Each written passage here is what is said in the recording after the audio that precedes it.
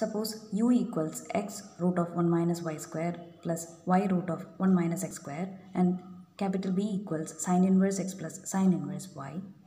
Let us check whether u and v are functionally related and let us find the relation possible between functions u and v.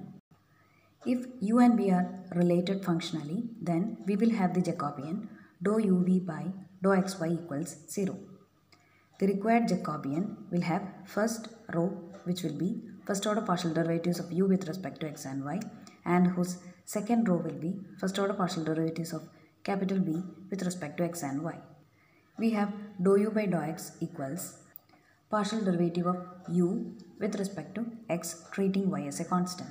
Thus, dou u by dou x equals root of 1 minus y square minus xy by root of 1 minus x square. This is because y remains as a constant.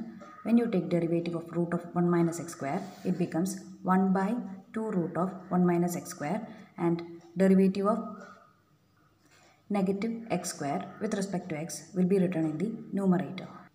Derivative of negative x square equals negative 2x.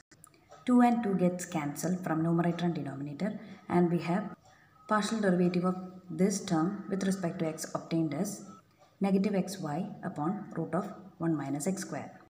Similarly, we have dou u by dou y which is evaluated treating x as a constant obtained as negative xy upon root of 1 minus y square plus root of 1 minus x square.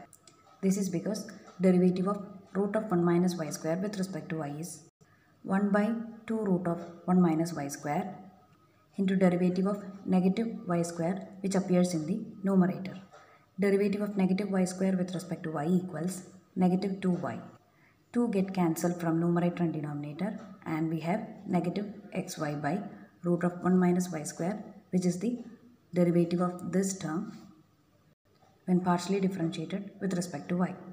We have partial derivative of function v with respect to x obtained as 1 by root of 1 minus x square because we will be treating y as a constant when you evaluate dou v by dou x.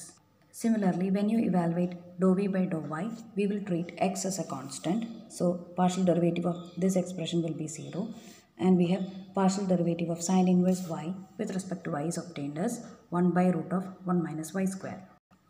Hence, we have the required determinant obtained in this form which when expanded gives us the value 0. Multiplication of these two terms minus multiplication of these two terms gives us value 0 and hence we conclude that this required Jacobian takes the value 0. Thus, we can conclude that functions u and v are functionally related. We have the standard relation capital V equals sine inverse x plus sine inverse y which is given in question can also be written as sine inverse x root of 1 minus y square plus y multiplied to root of 1 minus x square. This equals this is the standard relation.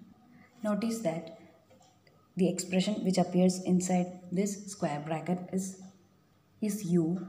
In our question we have been defined u in this way and thus we get the relation capital V equals sine inverse u which can also be written as u equals sine V and this is the required relation between functions u and v.